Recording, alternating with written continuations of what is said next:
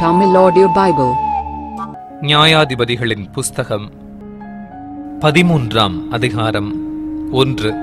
இஸ்ரவேல் புத்திரர் மறுபடியும் கர்த்தரின் பார்வைக்கு பொல்லாப்பானதை செய்தபடியால் கர்த்தர் அவர்களை நாற்பது வருஷம் அளவும் பெலிஸ்தர் கையில் ஒப்புக் கொடுத்தார் இரண்டு அப்பொழுது தான் வம்சத்தானாகிய சோரா ஊரானான ஒரு மனுஷன் இருந்தான். அவன் பேர் மனோவா. அவன் மனைவி பிள்ளை பெறாத மலடியாயிருந்தாள். மூன்று.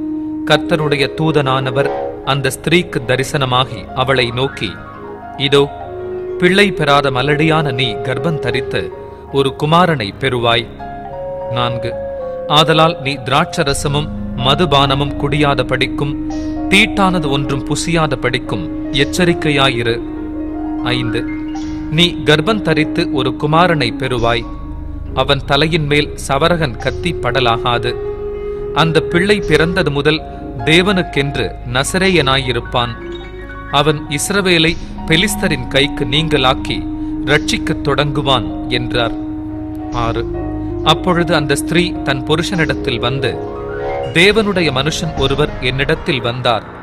அவருடைய சாயல் தேவனுடைய தூதரின் சாயலைப் போல மகா பயங்கரமாயிருந்தது. எங்கே இருந்து வந்தீர் என்று நான் அவரிடத்தில் கேட்கவில்லை.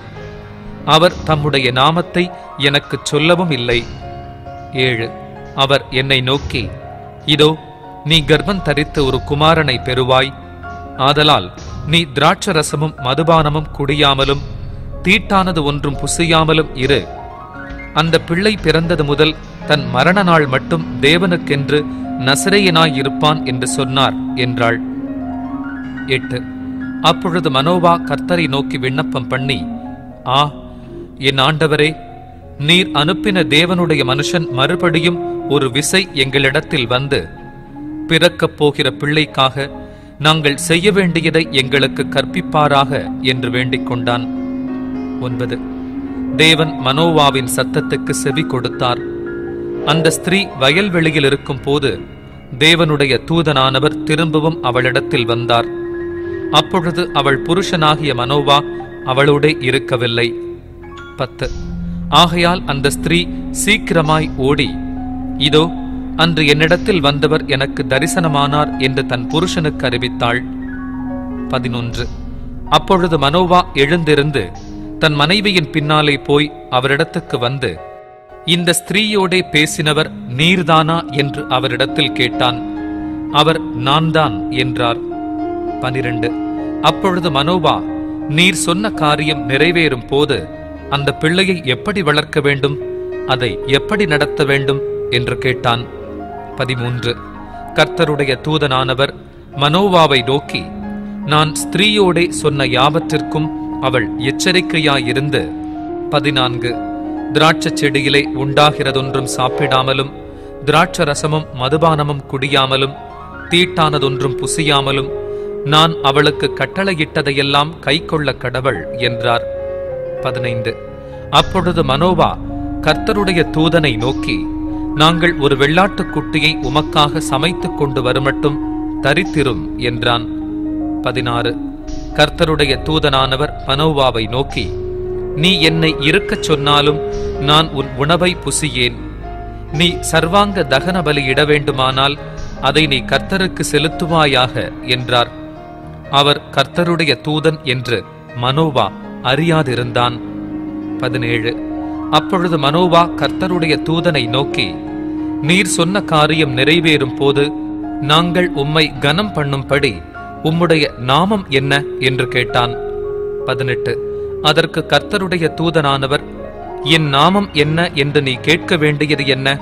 அது அதிசயம் என்றார். பத்தொன்பது. மனோவா போய் வெள்ளாட்டுக் குட்டியையும் போஜன பலியையும் கொண்டு வந்து அதை கண்மலையின் மேல் கர்த்தருக்கு செலுத்தினான். அப்பொழுது மனோவாவும் அவன் மனைவியும் பார்த்து கொண்டிருக்கையில் அதிசயம் விளங்கினது. இருபது. அக்கினி ஜுவாலை பலிபீடத்திலிருந்து வானத்திற்கு நேராக எழும்புகையில் கர்த்தருடைய தூதனானவர் பலிபீடத்தின் ஜுவாலையிலே ஏறிப்போனார். அதை மனோவாவும் அவன் மனைவியும் கண்டு தரையிலே முகம் குப்பர விழுந்தார்கள். இருபத்தொன்று. பின்பு கர்த்தருடைய தூதனானவர் மனோவாவுக்கும் அவன் மனைவிக்கும் காணப்படவில்லை. அப்பொழுது அவர் கர்த்தருடைய தூதன் என்று மனோவா அறிந்து இருபத்தி இரண்டு தன் மனைவியை பார்த்து நாம் தேவனை கண்டோம் சாகவே சாவோம் என்றான். இருபத்து மூன்று அதற்கு அவன் மனைவி கர்த்தர் நம்மை கொன்று போட சித்தமாயிருந்தால் அவர் நம்முடைய கையிலே சர்வாங்க தகன பலியையும் போஜன பலியையும் ஒப்புக்கொள்ள மாட்டார் இவைகளையெல்லாம் நமக்கு காண்பிக்கவும் மாட்டார் இவைகளை நமக்கு அறிவிக்கவும் மாட்டார் என்றாள். இருபத்து நான்கு பின்பு அந்த ஸ்திரீ ஒரு குமாரனை பெற்று அவனுக்கு சிம்சோன் என்று பெயரிட்டாள். அந்த பிள்ளை வளர்ந்தது. கர்த்தர் அவனை ஆசீர்வதித்தார். இருபத்தைந்து.